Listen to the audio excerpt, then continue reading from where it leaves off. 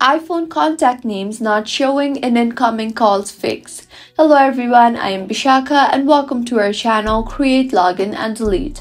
Let's get right into the tutorial. In order to fix contact names not showing in incoming calls, launch the settings application on your device and tap on your name banner. Here tap on iCloud and tap on show all. Here, make sure the toggle button for contacts is toggled on.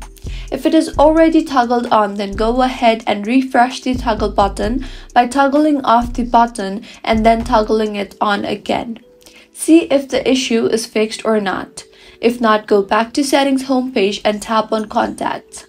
Here tap on short name and make sure the option for first name only is selected.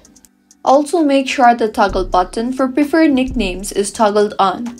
Go back and now tap on phone and make sure the toggle button for dial assist is toggled on as dial assist automatically determines the correct international or local prefix when dialing. If your issue is still not fixed, then last fix is tap on your name banner and scroll down and tap on sign out. Enter your password and tap on turn off. Once signed out, wait for a while and then sign in again and your problem should have been fixed. If you find this tutorial helpful, do subscribe to our channel. Thank you for staying with us until the end.